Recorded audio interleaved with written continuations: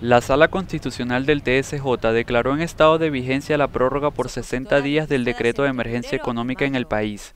Esto como respuesta ante la negativa por parte de la Asamblea Nacional de aprobar la prorrogación de la orden ejecutiva discutida el pasado jueves en sesión ordinaria.